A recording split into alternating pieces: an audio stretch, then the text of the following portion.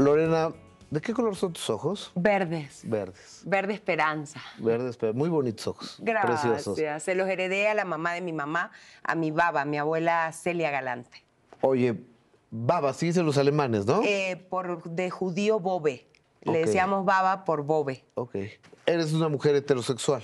Eh, sí, sí, sí. No me gustan los encasillamientos. Sí, es que soy Las un ser etiquetas humano. no te gustan. Es que eh, no, o sea, que no tiene a veces mucho sentido porque uno dice, de este agua nunca de beber y ahí es uno escupe para arriba y, Y ahí te estás. ahogas, ahí te ahogas, chaparrito. Ay, qué buena, qué buena frase. Y ahí te ahogas, ya no me la sabía. Pero sí, sí, porque realmente me gustan los hombres, me atraen los hombres, admiro a los hombres y me parece que realmente son mi, mi opuesto complementario. Pero fui una mujer curiosa para llegar a este, pues, de alguna manera, esta etiqueta, esta conclusión. Puedo decir que, que sí tuve otras experiencias. Probaste. Probé otras cosas, pero sí me gustan los hombres, me atraen los hombres. ¿Qué te atrajo de Yolanda Andrade? Digo, porque yo no lo sabía y el año pasado de repente me encuentro con una entrevista tuya eh, en tu patria, en Argentina, donde, donde confiesas que habías mantenido un romance con, con la mexicana. De un Aquí- mes. A quien le mando un beso a, la, a mi amiga Yolanda Se Andrade. la, se la quiere mucho, se la respeta.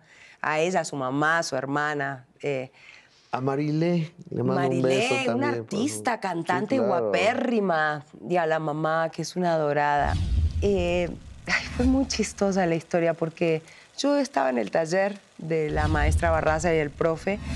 Y pues en Telen, pues tú sabes que uno trabajando, estando ahí, que los gafetes éramos exclusivos. Era una época, era otra época, hermosa. Había exclusividades. Ay, qué o sea, padre. que le pagaban a uno. Por estudiar. Por estudiar. Para que estuvieran Está tranquilos. muy bien eso, y por Sí. estar tranquilo.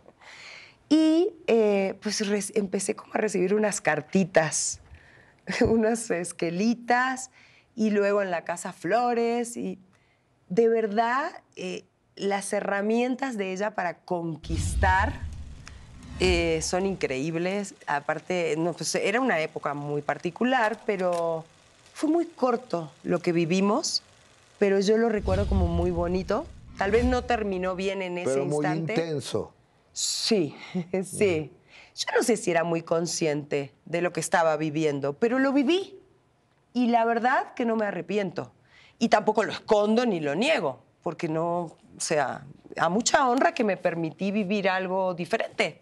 ¿Fue la única relación Eh, lésbica que eh, viviste? a nivel sexual no, porque tal vez tuve alguna otra más pequeña. eh, y luego desde, fue, lo que sí fue la última. Eso sí te lo puedo decir, la última. Oye, ¿qué hay de cierto de un helicóptero que te iba siguiendo? O, o sea, ¿existió esa parte? No siguiendo, pero algo po- así po- porque existió. lo, lo- lo leí que el momento creo que creo que te gustó un cuate y te fuiste con Sí, él. un cuate que trabajaba en Chapultepec, Y- Martín, argentino, y me Eh, fui a Valle. Televisa Chapultepec. Sí, Y- me fui y- a Valle de Bravo. Y de repente un, un Te helicóptero es que si yo te lo con cuento, vas Yolanda a decir, Andrade allá una- arriba. Tú vas a decir, parece película. Pues cuéntame. No fue muy agradable. y Igual era una época de Yolanda que ella, gracias a Dios, hoy en día está recuperada. Ha superado ese Yo problema de nunca la vi igualmente a ella en- en- con ninguna sustancia ni nada. La verdad, compartíamos té de canela. Yo no tomaba alcohol. eh, o sea, realmente no, nunca. Pero sí era una época de ella con un carácter y, y tal vez hacía cosas que no estaban bien, pero ella se ha recuperado, que es lo importante. Me fui, le mentí a ella, le dije que me iba con mi comadre a Valle de Bravo y en realidad me fui con este chico a una finca y estábamos en un lugar de Valle donde en la noche la gente, tú sabes que además es un lugar, no sé ahorita, pero era un lugar así que iba la gente muy elegante y, y estábamos en un lugar ahí con este chavo. Nunca había pasado nada con este chavo, creo que ni nos habíamos dado un beso. Y estábamos ahí todo el mundo y de repente hago así y veo en ese lugar de como de beber, de comer, en la noche en Valle, viene entrando la Yolanda, porque en esa época era la Yolanda, Claro. con Marta y su amigo, que ahorita no me acuerdo el nombre, que eran sus dos cuates. casi me muero. Me quedé pálida, dura. La veo entrando cual, o sea, capo de Pablo Escobar, no sé, capo de Locapi. de- Como Griselda. Eh, como Griselda como Griselda así entrando encabronada. Claro, yo le había dicho que me había ido con mi comadre al Valle de Bravo. Yo no sé cómo llegó hasta allá. O sea, después supe que llegó en un helicóptero y que le llevaron un ca... Y la verdad, fue un momento muy violento ahí. Ella me jaló de los pelos, me gritó, "Pi- eh, yo te trato como una reina y tú no sé qué. Y yo le dije a este chavo, este chavo no, le dije, vete que ya voy. Le dije que se vaya para afuera. Y yo no atiné nada, le dije. Yo quieta, ella me zamarreaba, me, medio me jaló de los pelos, me pegó un cachetazo.